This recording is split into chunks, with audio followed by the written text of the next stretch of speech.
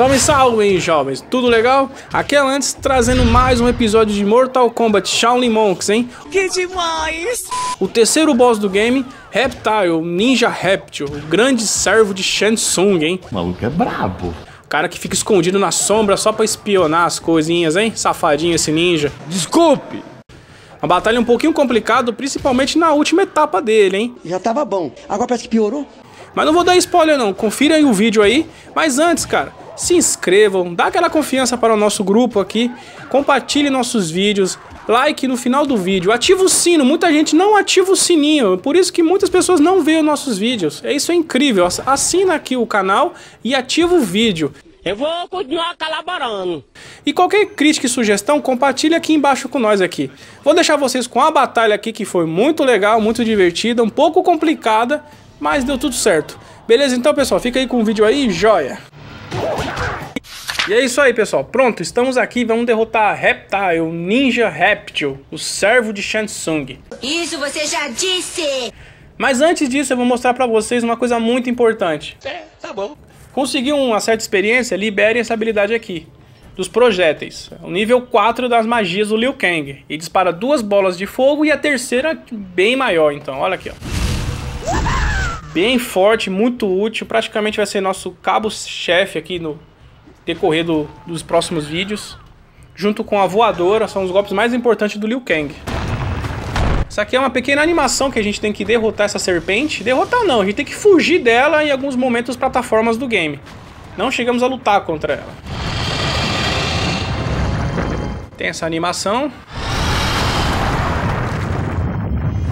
E vamos enfrentar o Reptile agora. Ninja muito habilidoso, bem rápido, com muitas habilidades de projéteis, assim como no game de luta do Mortal Kombat Reptile é sempre focado nos seus projéteis. E vamos encarar lá o ninja verdinho. Hora do show, pô! Aqui, ó. Projeto que eu falei pra vocês. Nem pegou o terceiro, mas é muito importante esse ataque aqui. Pode fazer combo à vontade no Reptile, combo aéreo, que ele simplesmente desaparece, não tem como ele acertar você no ar. Olha lá.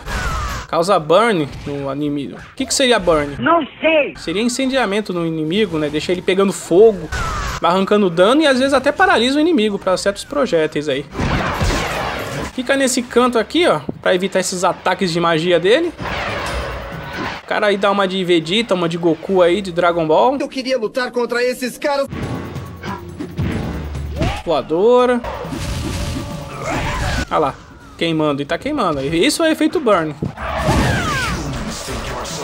Opa, tomei esse projétil dele. Ó, tá vendo? Esse projeto arranca muito dano e é muito útil. Pega até o inimigo deitado no chão, então... Olha lá. E já derrotamos a primeira parte dele, agora vem a parte mais complicada, que é a parte que ele fica invisível. E aí é onde ele fica doido, ele solta um monte de projéteis, ataques de avanço. E é um pouquinho complicado de achar ele. Você se orienta pela água, né, pelos passos dele, ou pela cabeça dele, quando ele cospe ou solta essa bola de energia. Ah lá, ele cuspindo, só que eu não consegui dar um golpe nele. Nossa, tá difícil, hein, mano.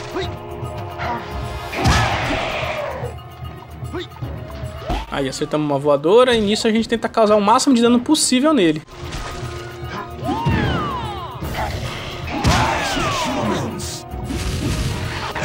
Olha, tá vendo? A magia como é muito útil. Agora eu vacilei.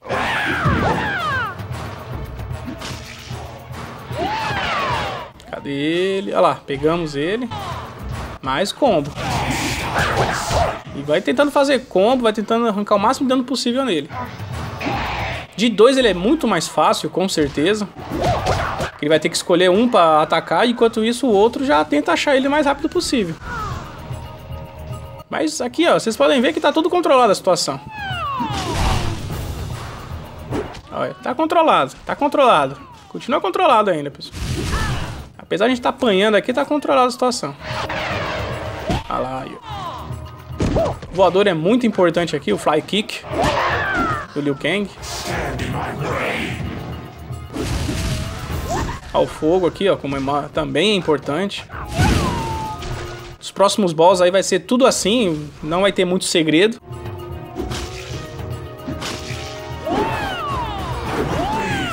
Usa voadora pra escapar de algum ataque, se for preciso.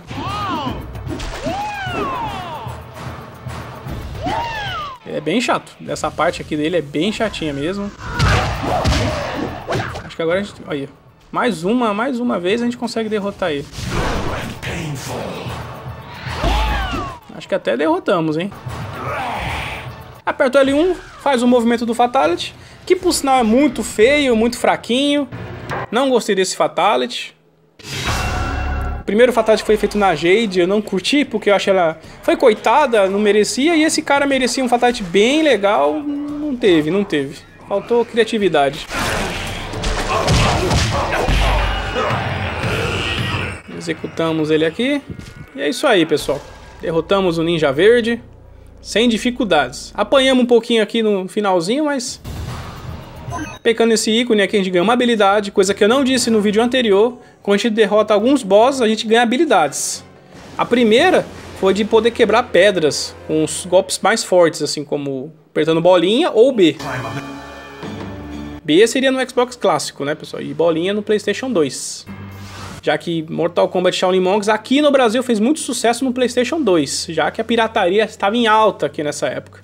Ainda tá, mas naquela época era muito mais. A gente vai usar aqui a habilidade aqui, ó, de quebrar pedras aqui, a gente vai estourar a cobra aqui, ó. E a habilidade que ganhamos lutando com o Reptile é essa aqui, ó. Escalar as paredes em determinados pontos. Sem segredos, passamos o terceiro boss muito fácil. Agora eu vou mostrar pra vocês onde você ga- pega, ganha não, pega um, um aumentador de energia, de vida, onde aumenta seu HP. Um dos meus inscritos disse que não jogou Mortal Kombat Shaolin Monks pelo fato dos loads serem compridos, serem longos. Disse pra ele que talvez o seu jogo não estava legal ou o seu videogame estava legal, porque vocês podem ver que os loads são bem rápidos. Animação do Raiden.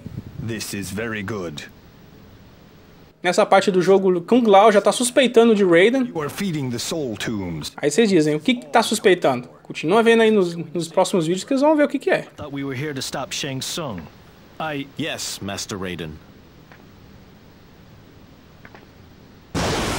Something is wrong. Yes, but I am certain Raiden will let us know when it is time. E é isso aí, pessoal. Vamos subindo aqui, vamos voltando o caminho. Vamos pegando alguns aumentadores aqui de experiência, pegando aqui HP. Esse lugar que nós estamos aqui é o lado Reptile, sim, é um cenário lá de Mortal Kombat 4. Eu não sei se o meu editor consegue arrumar uma foto do, desse, desse cenário, mas sim. E o lado Reptile fica na- no cenário Floresta Viva, que é um cenário grandioso lá de MK11. Tudo errado. MK11 não, me desculpa, é Mortal Kombat 2. é, Eu tô jogando tanto Mortal Kombat 11 que esqueci. É Mortal Kombat 2, pessoal. E Reptile que infelizmente de Mortal Kombat 4 pra cá não conseguiram fazer um personagem bem bacana assim visualmente, né?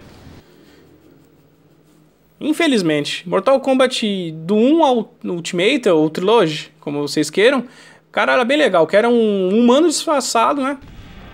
Tá disfarçado de humano, na verdade. E aqui ele já assumiu que é uma lagartixa mesmo. E é isso aí, pessoal. O vídeo vai chegando aqui no final. Se vocês curtiram, dá aquele like para fortalecer o canal. Qualquer coisa, compartilhe nos grupos aí de WhatsApp, cara. Tenta ajudar nós aí, porque a gente ajuda vocês. Vou pegar aqui, ó. O item aqui que eu falei pra vocês. Reparem que aumentou legal o HP. E fiquem com o final do vídeo aí. Próximo vídeo, Baraka. Beleza então, pessoal? E joia!